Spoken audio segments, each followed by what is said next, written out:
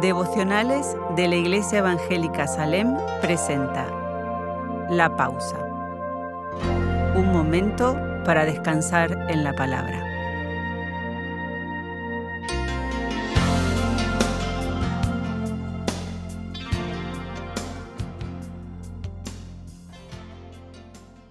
Hoy, los secretos de Dios.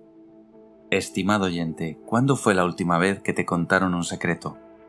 Primera de Corintios 2.9 dice, Cosas que ojo no vio, ni oído oyó, ni han subido en corazón de hombre, son las que Dios ha preparado para los que le aman.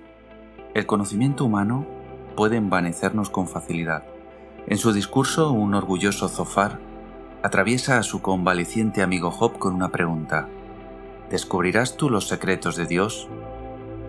Dos versículos antes afirma, Oh quien diera que Dios hablara, y abriera sus labios contigo, y te declarara los secretos de la sabiduría, que son de doble valor que las riquezas. Puedes leerlo en Job capítulo 11 versículos 5 y 6. Zofar muestra en su respuesta que es una persona carnal. Cree que percibe y conoce las cosas del Espíritu, pero en realidad está muy lejos del corazón de Dios. Él dice, ¿conocerías entonces que Dios te ha castigado menos de lo que tu iniquidad merece?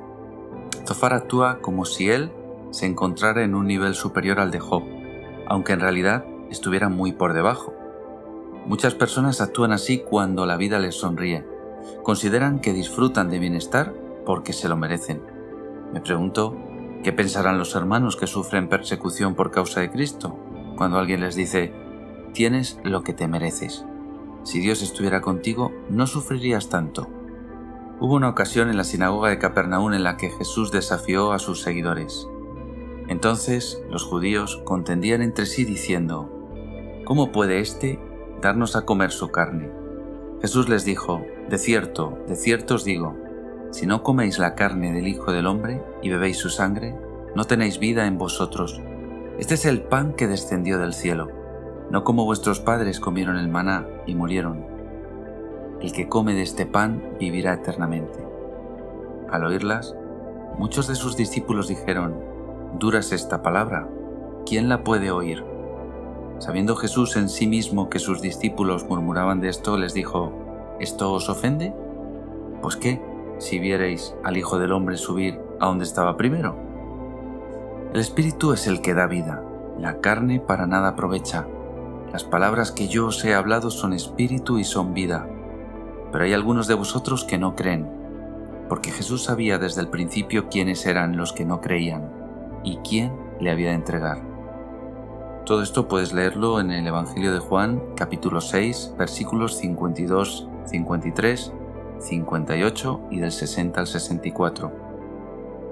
Jesús estaba revelando a su auditorio grandes verdades espirituales, pero la mayoría de los oyentes eran personas carnales que no discernían la voz de Dios. El apóstol Pablo recuerda a los corintios lo que ya dijo el profeta Isaías, cosas que ojo no vio, ni oído oyó, ni han subido en corazón de hombre, son las que Dios ha preparado para los que le aman. Estimado hermano, ¿amas a Dios? ¿Cuánto? Pablo estaba exhortando a los creyentes. Les decía algo así como, ¿ustedes dicen que aman a Dios? Pero se han quedado en un nivel muy superficial. No profundizan en los principios espirituales de la palabra.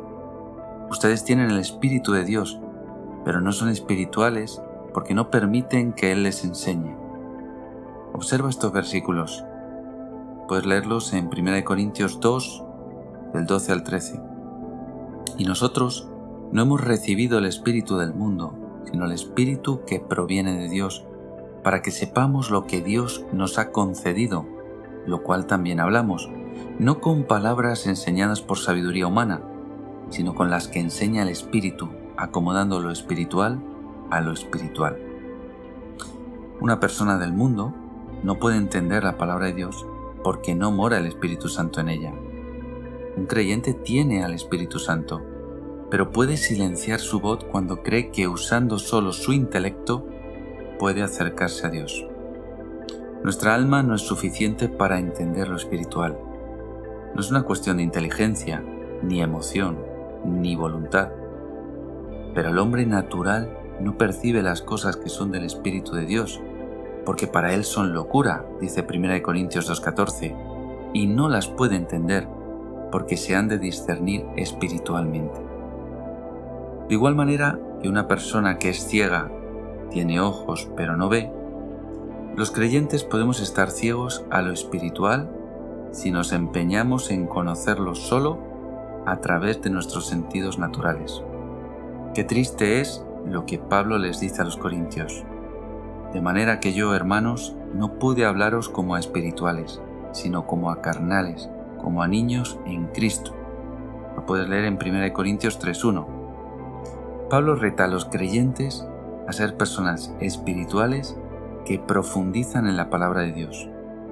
Como cristianos necesitamos tener comunión con el Espíritu Santo. Solo a través de Él nuestro espíritu percibirá los inagotables secretos de Dios. Quiero terminar con Jeremías 33.3 y dejarte este versículo como reto. Clama a mí y yo te responderé y te enseñaré cosas grandes y ocultas que tú no conoces. Gracias por escuchar la pausa. Devocionales de la Iglesia Evangélica Salem.